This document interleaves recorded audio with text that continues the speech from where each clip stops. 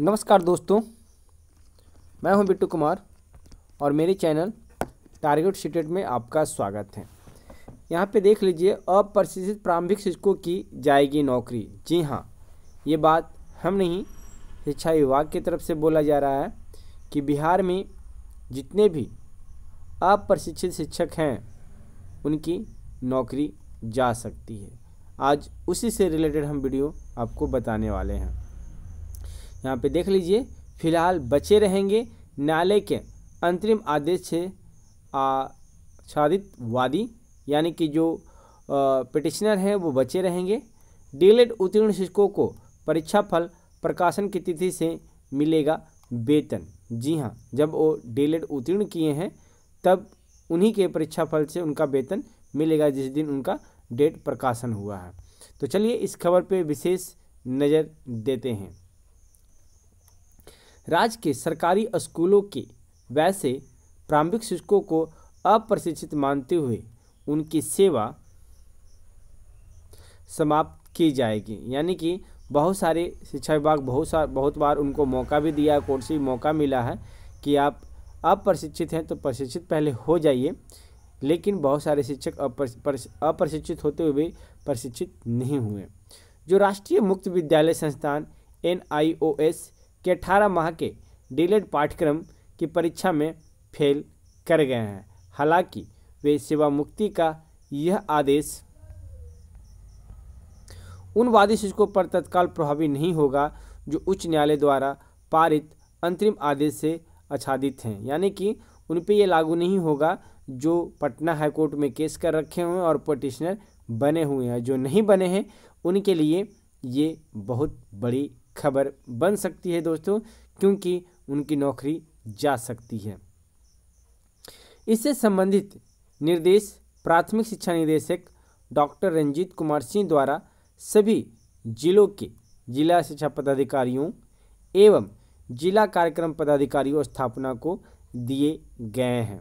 निर्देश में कहा गया है कि बच्चों का मुफ़्त एवं अनिवार्य शिक्षा संशोधन अधिनियम 2017 की धारा तेईस के तहत सभी अप्रशिक्षित शिक्षकों को 31 मार्च 2019 तक निर्धारित अहर्ता यथा शिक्षक प्रशिक्षण प्राप्त करना अनिवार्य था। इस हेतु भारत सरकार के तत्वाधान में राष्ट्रीय मुक्त विद्यालय संस्थान एनआईओएस द्वारा 18 माह का डीलेट पाठ्यक्रम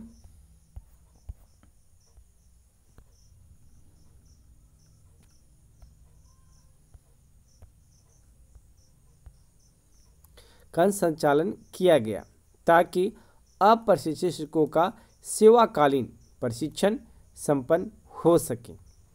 प्राथमिक शिक्षा निदेशक ने 22 अक्टूबर 2019 को जारी निर्देश का उल्लेख करते हुए जिला शिक्षा पदाधिकारियों एवं जिला कार्यक्रम पदाधिकारियों स्थापना से उसका अनुपालन करने को कहा है। जिला शिक्षा पदाधिकारियों एवं जिला कार्यक्रम पदाधिकारियों स्थापना से कहा गया है कि वैसे अप्रशिक्षित शिक्षक जो 31 मार्च 2019 तक प्रशिक्षण पूर्ण कर डेलर की मुख्य परीक्षा अथवा पूरक परीक्षा में सम्मिलित हुए हैं, हों तथा जिला शिक्षा पदाधिकारियों एवं जिला कार्यक्रम पदाधिकारियों स्थापना भुगतान किया जाना है। जिला शिक्षा पदाधिकारियों एवं जिला कार्यक्रम पदाधिकारियों स्थापना को दिए गए निर्देश में कहा गया है कि अप्रशिक्षित शिक्षक प्रशिक्षण कार्य पूर्ण करने के उपरांत समान अथवा पूरक परीक्षा में यदि उत्तीर्ण नहीं हुए हैं तो वैसे अप्रशिक्षित शिक्षक संबंधित अधिनियम की पृष्ठभूमि में प्रशिक्षण की योग्यता प्राप्त नहीं होने की स्थिति में नियमानुसार कार्रवाई करते हुए सेवा मुक्त करने की कार्रवाई संबंधित नियोजन इकाई के स्तर से किया जाना है। प्राथमिक शिक्षा निदेशक द्वारा जिला शिक्षा पदाधिकारियों एवं जिला कार्यक्रम पदाधिकारियों स्थापना से कहा गया है कि वर्तमान में प्राप्त जानकारी के अनुसार C W J C two four seven double nine दो हज़ार उन्नीस सी डब्ल्यू जे सी सोलह दो सौ चौदह, दो हज़ार उन्नीस एवं सी डब्ल्यू जे सी तिरासी छियालीस दो हज़ार उन्नीस में पटना उच्च न्यायालय द्वारा पारित अंतरिम आदेश से आच्छादित वादीगण पर यह निर्देश तत्काल प्रभावी नहीं होगा। जिला शिक्षा पदाधिकारियों एवं जिला कार्यक्रम पदाधिकारियों स्थापना से यह भी कहा गया है कि यदि इसके अतिरिक्त अन्य न्यायालय मामलों में न्यायाधीश की सूचना प्राप्त होती है तो इसकी सूचना अभिलंब निदेशालय को दी जाए। इसके साथ ही निर्देश के अनुपालन में की जाने वाली कार्रवाई की रिपोर्ट भी मांगी गई है।